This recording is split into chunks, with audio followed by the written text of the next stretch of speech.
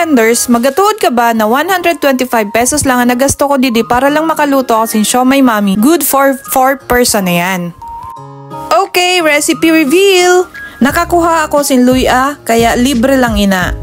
3 pesos na bawang, 5 pesos na sibuyas, 5 pesos na kamatis, Nakalibre sa sili kay usad man lang kabilog an inayo ko. Sa chorizo, 15 pesos ang usad pero piso lang ang imo magagamit.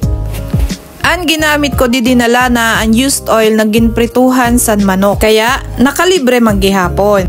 Piso na paminta, kag sobra sa nakon bitchin. Libre man ang tubig na upat ka baso para sa sabaw. Tinimplahan ko na sinasin habang nagapakulo hasta na maluto ang siomay. Ang siomay as 5 pesos. Nakabakal ako sin 16 pieces sa nagatinda sin steam siomay.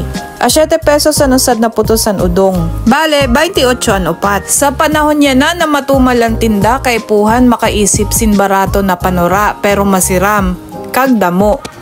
Igwa ko sin mga leftover na gulay sa akon ref pero optional naman ang gulay. Depende pa man ina sa imo kung kaya mo pa mag-budget para sa gulay. Saya na na panahon talaga sobrang tumal sa akon benta kaya kaypuhan talaga madiskarte pag abot sa panura.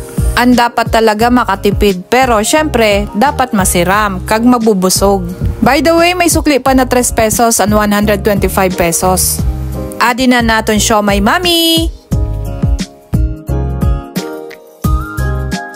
First higop, thank you Lord.